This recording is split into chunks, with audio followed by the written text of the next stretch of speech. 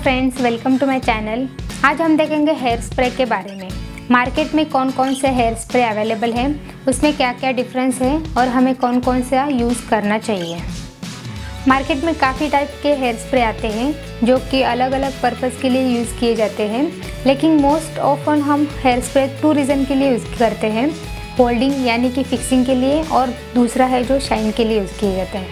पहले देखते हैं होल्डिंग स्प्रे जो कि हेयर स्टाइलिंग में बहुत इंपॉर्टेंट होते हैं।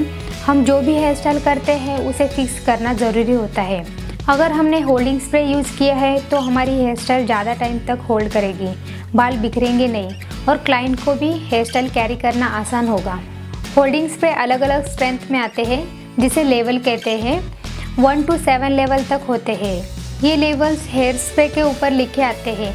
जितना ज़्यादा लेवल होगा, उतना ही स्प्रे का होल्डिंग पावर होगा। और उतना ही स्प्रे लॉन्ग लास्टिंग होगा। लेकिन इसका मतलब ये नहीं कि हमें हमेशा ही ज़्यादा लेवल का हेयर स्प्रे यूज़ करना है।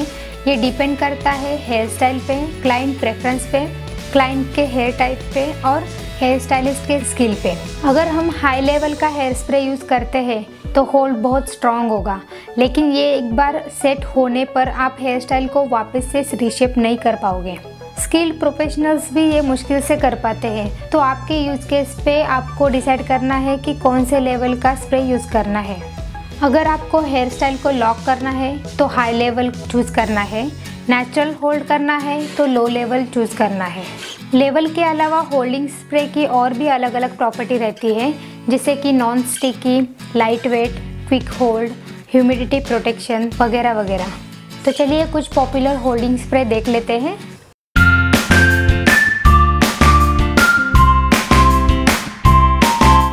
ये है टाफ पावर ब्लैक कलर का। ये मोस्टली सारे हेयर स्टाइलिस्ट यूज़ करते हैं। ये लेवल फाइव का है, जो कि काफ़ी स्ट्रॉन्ग रहता है। ये मीडियम रेंज का है फोर हंड्रेड रुपीज़ के अराउंड आ जाता है। अच्छे होल्डिंग पावर के साथ ये काफ़ी लॉन्ग लास्टिंग है। नेक्स्ट ये भी मैं यूज़ करती हूँ टाफ्ट अल्टीमेट जो ब्लू कलर में आता है। इसका सिक्स लेवल का होल्डिंग पावर है, जो कि और भी ज़्यादा स्ट्रॉन्ग है। ये फॉगी फॉर्म में होता है तो क्विक कैच करता है और क्विक ड्राई करता है। आप कोई हेयर स्टाइल बना रहे हो और आपको वो वही क्विक लॉक करना है तो उस केस में आपको ये हेयर स्प्रे यूज़ कर सकते हो। सेकेंड वन है नोवा गोल्ड। ये भी स्ट्रॉन्ग हेयर स्प्रे है, इस पर लेवल नहीं लिखा है, बट इसका होल्डिंग लेवल फोर के जैसा होता है। तो ये भी होल्डिंग के लिए अच्छा है, ये लो रेंज में आता है। ये टाफ्ट के जैसा ही है बट डिफरेंस ये है कि नोवा में वाटर कंटेंट टाफ से ज़्यादा रहते हैं। टाफ में वाटर कंटेंट थोड़ा कम रहता है और थोड़ा फॉगी होता है। इसलिए नोवा थोड़ा स्टिकी हो सकता है तो उसको थोड़ा केयरफुली यूज़ करना पड़ता है। टाफ्ट और नोवा दोनों को आप दोबारा रिशेप नहीं कर सकते। तो यूज़ करने के बाद आप हेयर स्टाइल को रिशेप नहीं कर पाओगे। नेक्स्ट देखते हैं गैट्सबी का हेयर स्प्रे ये आपको थ्री लेवल्स में मिलेगा। Four, five and seven. मेरे पास ये सेवन लेवल का है, जो कि सबसे हार्ड है। आप सिल्वर कलर का यूज़ कर सकते हैं, जो कि फोर लेवल का आता है। नोवा गोल्ड से थोड़ा बेटर होता है। नोवा गोल्ड से थोड़ा कम वाटरी होता है, कम स्टिकी होता है, काफ़ी लॉन्ग लास्टिंग रिज़ल्ट है। ये भी नॉन फ्लेक्सिबल स्प्रे है, इसको हम रिशेप नहीं कर सकते। सेकेंड गैसबी का ब्लैक कलर का होता है, जिसका फाइव लेवल का होल्डिंग पावर है।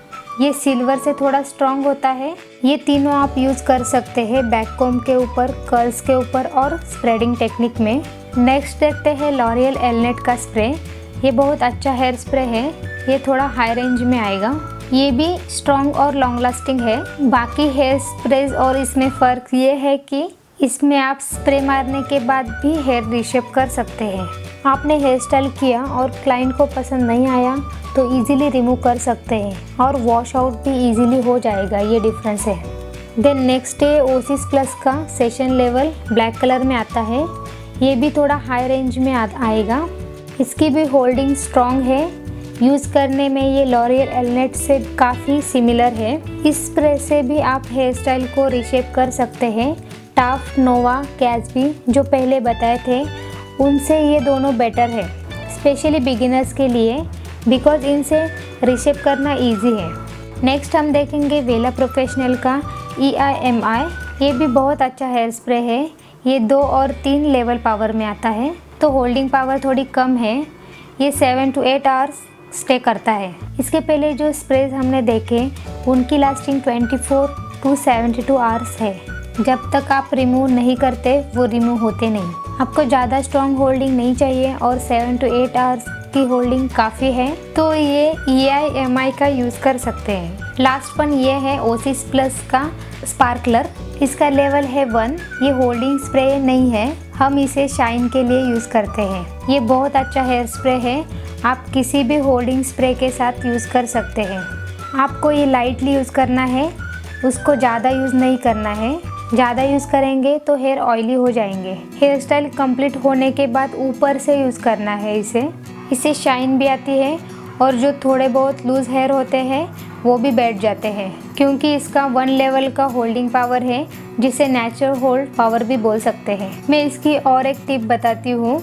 मोस्टली किसी को जनरली पता नहीं होती जब हम हार्ड स्प्रे यूज़ करते हैं तो ये हेयर स्प्रे हम हेयर स्टाइल रिमूव करने के लिए भी यूज़ कर सकते हैं। ज़्यादा बैकअम किया हो और वो निकलने में हार्ड जा रहा हो तो ये स्प्रे से वो इजीली निकल सकता है।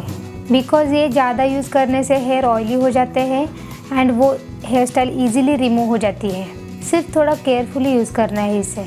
ओसिस प्लस के लेवल टू थ्री फोर भी अच्छे हैं बट मैं ये लेवल वन का यूज़ करती हूँ हमेशा। लेवल टू का मिलता है तो वो भी आप यूज़ कर सकते हैं। वो थोड़ा ज़्यादा फ्रीज करेगा। आई थिंक वो थोड़ा ज़्यादा कॉस्टली आएगा। थ्री थाउज़ेंड के ऊपर है शायद। तो आज हमने देखे हेयर स्प्रे कौन से होते हैं और उन्हें कब यूज़ करना है। तो मिलते हैं नेक्स्ट वीडियो में। प्लीज़ वीडियो लाइक, शेयर ज़रूर कीजिए। अगर आपने सब्सक्राइब नहीं किया है तो ज़रूर सब्सक्राइब कीजिए। Thanks for watching. Take care. Bye bye.